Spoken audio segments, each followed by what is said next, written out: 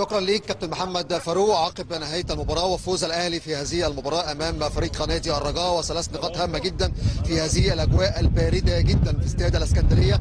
معي الكابتن سيد عبد الحفيظ. كابتن سيد برحب بيك وجو صعب جدا بس الحمد لله انتهت المباراة والأهلي حقق النتيجة المرجوة في وسط هذا الجو البارد. يعني الحمد لله رب العالمين. طلعت كده من التلفزيون؟ أنا عايز أقول كلمة.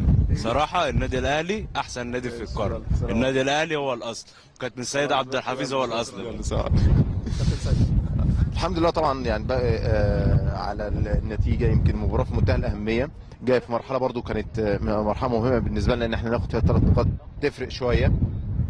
وتسبق بالتأكيد مباراة ال- الإسماعيلي. يمكن الشوط الأول ال- الأداء والاستحواذ ومحاوله الفرص وكل حاجة خاصة بينا وعدد من الأهداف ملغي في شوط واحد يعني.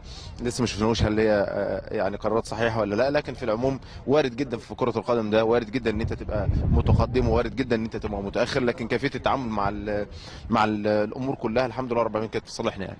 كابتن سيد إيه اللي اختلف في الشوط الثاني عن الشوط الأول؟ إيه اللي اتقال للعيبة في أوضة اللبس؟ لأن شفنا تركيز أكتر في الشوط الثاني وكنا خايفين إن حتى الشوط الثاني تنقلب الأمور ويبقى فريق رجاء حقق مفاجأة في هذه المباراة. لا يعني أنا زي ما قلت لك الشوط الأولاني استحواذ كامل ليك. أنت يعني ما فيش أي خطورة على على مرماك خالص يعني باستثناء الكرة اللي جاي منها الجول يعني. لكن في النهاية يعني هي تفاصيل صغيرة دايما في كرة القدم في كرة القدم الناس بت يعني بتستهون بالتفاصيل الصغيرة. ممكن الكرة اللي جت فينا جول كانت ممكن لا تذكر أصلا لو اتعاملنا معاها بشكل جدي لكن برضه هرجع أقول آه، آه، هي دي الكورة بتتعلم منها يوم بعد يوم دروس لازم آه، نستفاد منها. لكن أعتقد إن المباراة من أولها لآخرها استحواذ وسيطرة كاملة ليك. الشوط الثاني كان فيه فعالية أكبر كان فيه يعني أهداف الحمد لله رب العالمين قدرنا نحققها ونجيبها.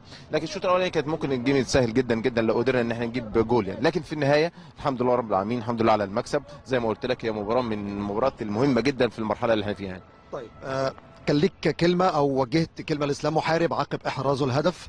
آه تحديدا إسلام في الفترات الأخيرة بينزل في الشوط الثاني بيبقى ليه دور كبير جدا مع الفريق. مركز جدا هو في التمرين ومركز جدا في في شغله.